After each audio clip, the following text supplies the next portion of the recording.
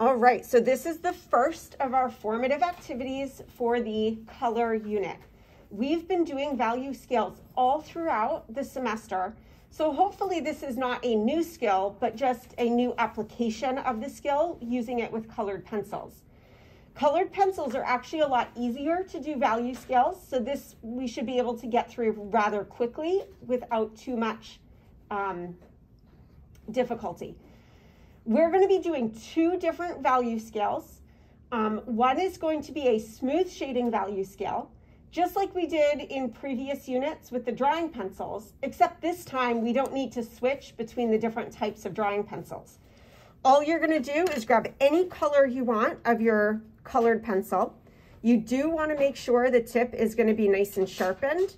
And just like when we did the value scales and the in the value unit earlier in the semester, we still want to practice using that overhand grip.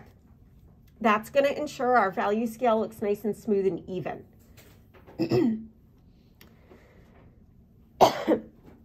Again, just like we did earlier in the semester, we're going to start in the center of our value scale, laying down kind of a medium to light medium value, remembering that we can always go back and darken it up but it is a little bit more challenging with colored pencil to erase or to lighten things up.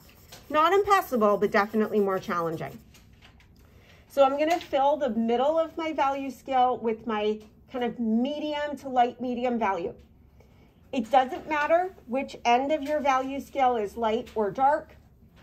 You're gonna go ahead and decide which end is light and do that side next being careful to use that overhand grip for your pencil, blending it down to the very end with the lightest hint of color, making sure that the value scale looks smooth and even, not streaky or choppy. This is a smooth shading value scale. Okay, and I'm blending that very light value into my light and then back into my medium.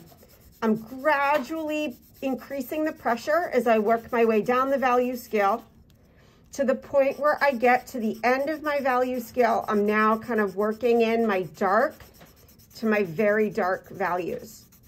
The overhand grip should work just fine for the majority of the value scale, except for at the very end. Because we're using these nice Prismacolored pencils, you can put a lot of pressure at the very end to get the darkest value and to really get that saturated color on your paper.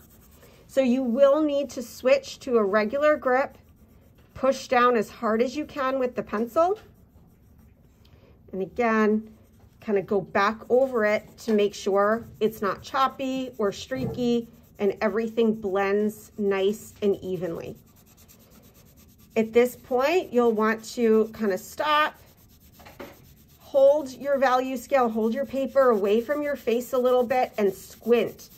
Remember when you squint at your work, it's really easy to see values and you'll see anything that does not blend evenly will really stand out sharply and then you can go in and fix it. When you're done, you should have a nice smooth shading value scale that blends from very light, light, medium, dark to very dark without any kind of choppiness.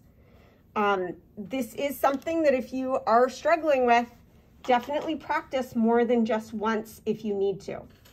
If you're not in class and doing this on your own, don't worry if your value scale is perfectly marked out like we have the um, stencils. Just feel free to freehand a rectangle you know, about seven or eight inches long by about an inch high. Doesn't need to be absolutely perfect, but you do want it to be big enough so you can really practice that skill